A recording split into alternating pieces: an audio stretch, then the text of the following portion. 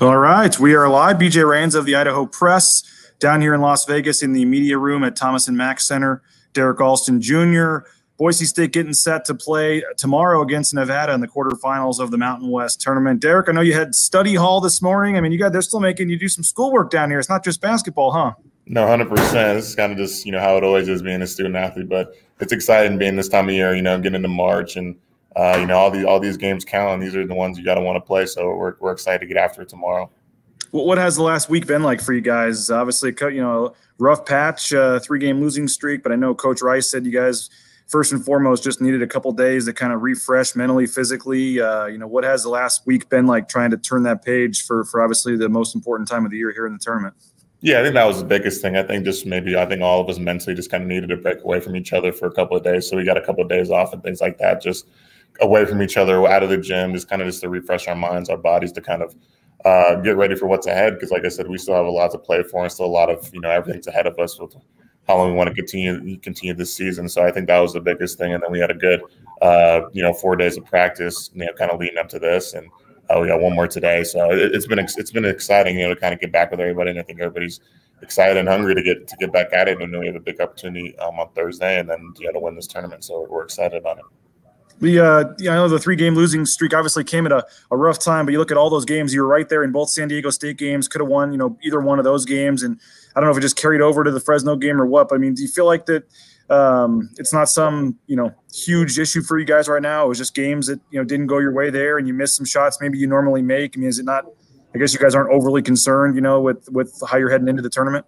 Yeah, no, I don't think there's really a big concern. You know, I think that we made the adjustments that we needed to in these days of practice. And I think that, um, those are going to really, I think, help us, you know, in this in this last kind of final stretch. So, like I said, I think everybody's really excited to play. Everyone's ready to get after it, and um, like I said, these are the games that really count. So I think everybody's ready to, you know, put their best foot forward and go get it done.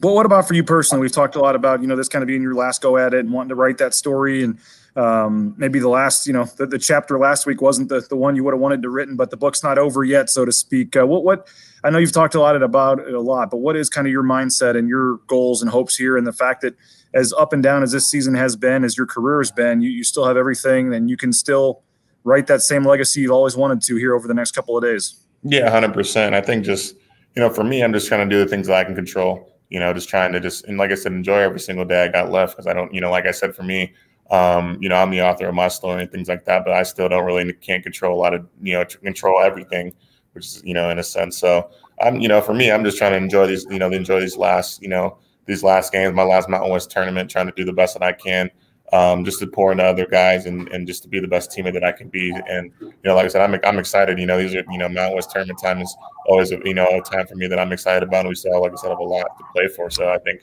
I'm very excited to get after it. We've seen you obviously take over games. You know that second half of that San Diego State game. We've seen games where you're facilitating for other guys. I mean, how do you kind of look at this tournament and and um, what you want to do, and obviously you can't do it all yourself. So how do you kind of uh, look at your mindset in terms of not wanting to do too much? Because sometimes you'd probably admit maybe you try to do too much and, and you know and force things at times. But how, how do you kind of weigh wanting to you know obviously be the guy that leads this team to a victory, but also wanting to you know make sure you're you're being part of the team, so to speak. Yeah, I think it's just. I mean, it's just. I think it's just doing my role and just being who I am and just trying to be the best possible player on the floor. I know that's not all about scoring for me, you know, things like that. And I think maybe uh, those last kind of two games, I kind of just, you know, wanted to put all that on my shoulders and knowing that that's not really what I have to do out there. And, you know, being able just to kind of take what the game gives me and just kind of um, be a lead in whether that's trying to score, you know, in scoring or just making the right plays every single time is what, you know, is what I'm, what I'm trying to get back to. We've seen Derrick, you know, it goes one of two ways when teams have kind of losing streaks like this and they regroup and sometimes it, you know, it caves in and goes the other way and it's a bad loss and everyone says, oh, we should have seen this coming. And sometimes it does galvanize you guys and teams go on runs and it can be a turning point. What, what, what makes you confident, I guess, whether it be the last week of practice and just the mood of the team in the hotel today and just what makes you confident, I guess, that this team can, can uh, take that positive turn and, and, and really still make something of this? Yeah, I think just the guys that we have in our locker room. You know, we have a lot of high character guys, and um, I think our, our, coaches have done a really good well, a good job of just giving us, you know, a really good plan.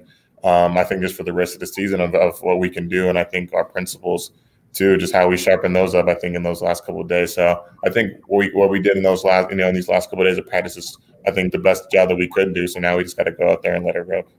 Well, who are some, you know, you know, no, I'm not asking you to tell us about Abu Kigab. I know obviously Leon was kind of not saying much, but if if who are some other guys that would have to step up? I guess if uh, depending on his status, we know we've seen you know E-Man at times uh, in the Fresno game. He obviously played well. We've seen him do some things. He would seem like a guy. I mean, who who who are some guys in this tournament other than yourself that you think are, are really going to need to you know be big for you guys to, to make a run here and do what you want to do? I know the easy answer is everybody, but is there a guy or two you're looking at saying he's ready to bust out this week or? yeah, I mean, I'm not looking at anybody in particular. You know, I think everybody knows what they have to do, and just being a star in their role is a big thing. Uh, you know, I mean, like I said, I think it's not it's not on all on one guy. You know, it's a team effort. And I think one through 15 has to be ready to go. Um, you know, like I said, in this time, you never know what's going to happen. So I think we just all have to be ready and all have to be stars in our role. And I think if we do that, we'll be just fine. Do you look at you know Joe Lunardi's bracketology? I mean, you guys are college kids. You obviously want to be in the tournament next week, and you guys are right there. You know, last team in, first team out. Wherever you look, you're literally as close to the bubble as you guys can be right now. How, how do you guys look at? You obviously want to win this tournament and not you know take care of any bubble talk by winning the tournament. But what is your take maybe on where you guys sit and oh we need to win two games or one game or how, how are you looking at your guys' spot on the bubble here? I mean, I'm just looking at it as winning the tournament. You know, I mean, I just kind of look back to you know, just being here at Boise State and how what the Mountain West has done for us and things like that. You know, I don't really kind of I don't want to leave it up to anybody in that in that sort of sense. You know, I rather just go out there and try and get that automatic bid by winning the tournament. But like I said, we just want to do do the best job we can and show the best we can here and, and try and win as many games as we can. Is it I don't know stressful, nerve wracking? What what's the feeling? You know, roughly twenty seven hours, whatever, away from you know, potentially your, your last game at Boise State. And, and obviously you hope you have, you know, seven, eight, nine, whatever more games left. But how, you know, just that, that feeling now of do or die and every game could, could be your last. Uh, what, what's that feeling like for you when you think back to the last five years here? Yeah, it's, it's been crazy, you know, and, I, and for me, it's not really stressful, you know, because I think that when I told myself, you know, I was going to come to Boise State, I knew that when I, whenever I was done here, I was going to leave with no regret. And I have, like I said, no regrets in my career. You know, I feel like I put, you know, I've I've learned a lot. I made a lot of mistakes, but I think I've really improved upon my mistakes and been able to improve not only as a person, but as a you know, I mean, as a player, but as a person as well. And I'm just thankful, like I said, for my experience here. And you know, I want to I want to fight to keep, and I want to keep fighting my butt off to keep it going as long as it can. You know, and um, you know, whenever it does, I'm I'm gonna have no regret, and I'm thankful for you know BSU, Coach Rice, and this program for everything they've done for me. Thankful for you guys, the media, for being so great with me and great with this team, and it, has been amazing. But you know, I'm not ready to say goodbye yet. What? Uh, well, neither are the fans, neither are the media, Derrick. We hope it is a long run. The last couple things here, we'll get you out of here. What this tournament as a whole? You look at, you know, there's not like that one, you know, last year's, you know, top ten San Diego State team or something, and you got, you know, four teams all going there. I mean, it does seem like there's four five, you know, maybe six, seven teams that are going into this tournament thinking they have a legitimate chance to win this. You guys are obviously one of them. You've been a part of this tournament, you know, what five years now. Do, do you feel like it's as wide open maybe and as many teams are going and thinking they have a chance this year that you can remember? No, I think yeah, hundred percent. You know, I think in years prior, it's always kind of been, you know, one or one team, you know, that's for sure, and then maybe one or two teams. But I think this year it's really it's really wide open. I think it's got us excited. It's probably got a lot of other teams excited, which is kind of how um, I think how balanced the league has been this year. So it, it's exciting knowing that anybody could come out here and win it. You know, we're, we're going to try and do our best to go out there and get that trophy. And let's talk quickly about the matchup with Nevada as we wrap this up. Uh, two games, and obviously you guys were right there in both those games. Uh, the first game led for much of the game, and obviously Sherfield hit a big shot late. I mean, this isn't like a thing where you guys are obviously thinking, "Oh, they beat us both games, we have no chance." I mean, the, the way what did you see in those two games, and I guess what needs to, to change to have the result be different tomorrow? Yeah, I think just making it very hard for Sherfield. You know, he's a, he's a great player, like I said. Um, he's going to have the ball in his hands a lot. So I think just really protecting the box and protecting the paint, I think is something that we didn't do great in those two games. I think we gave him a little bit too many easy, just easy points, whether that was in transition or um, just in the half court. Just kind of, I think just stuff that you know that, that's kind of uncharacteristic for us. So I think if we take away a lot of those points and um, you know, I think the big key of the game is who's going to get the easier shots. You know, and I think in those two games they definitely won that battle. So uh, we just got to make we got to make it a lot tougher on them and just continue on on the offense for our side to try and get you know the best shots and the easiest shots that we can. Well, Derrick, best of luck tomorrow. Appreciate your time, and I know fans are looking forward to the game and looking forward to hopefully seeing three games this week and some games next week as well. Uh, good luck, man, and go get it done. And appreciate your time today. Yep, thank you. Really appreciate it. Yep, take care, Derrick. There he is, Derrick Alston from Boise State. Appreciate uh, his time uh, joining us as uh, Boise State uh, gets set to play on Thursday, three thirty is the uh, game time they'll play uh, against Nevada in the 4 5 game in the quarterfinals of the Mountain West tournament. I will be back uh, in about an hour and a half, 1.30 Pacific, 2.30 Mountain Time here on the social media channels. We'll have another live show. Chris Murray is going to join us. He is the uh, beat writer for Nevada. Um, and he has uh, been covering this league for a long time. So we're going to get him on here. We're going to have John Mallory. We got Bob Behler, the voice of the Broncos, coming up tomorrow morning. I think Jeff Grammer is going to stop by. So uh, tons of these little videos, and we'll take questions and comments.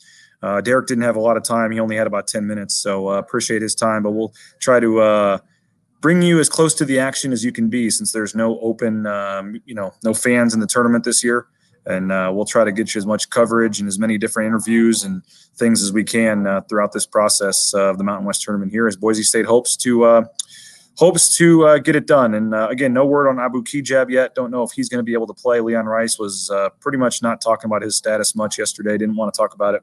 Got a story up on BlueTurfSports.com about that. And obviously, we'll have full coverage the rest of the day today and tomorrow on the website, BlueTurfSports.com, in the print edition of the Idaho Press and again, right here on the social media channels, Twitter and Facebook, make sure you follow at Blue Turf Sports on Twitter, Blue Turf Sports Facebook page, the Blue Turf Sports YouTube page as well is going to have um, the links uh, to all the different uh, live videos and archived videos, things like that. So appreciate you checking us out. We'll be back again uh, 1.30 Pacific, 2.30 Mountain Time here on social media with Chris Murray to get to dive in a little more to the matchup uh, of this game. Against Boise State and Nevada. Again, 3:30 Thursday, CBS Sports Network. We'll be back uh, shortly. The Mountain West tournament is underway. The quarter, the uh, opening round games are going on right now. Wyoming uh, is playing against San Jose State, so you can tune that in, I believe, on the Mountain West Network stream. So, uh, hope you enjoyed the interview with Derrick. If you're coming in late, uh, just refresh your page when I end the video here, and you'll be able to uh, rewatch the interview with Derrick Alston Jr. from the start. So, thanks a lot. Be back shortly. BlueTurfSports.com. When it comes to concrete, we've got you covered. RowPaint.com offers custom concrete coating services for your garage, business, warehouse, and more. And we do it in one day. We are your complete concrete coatings solution.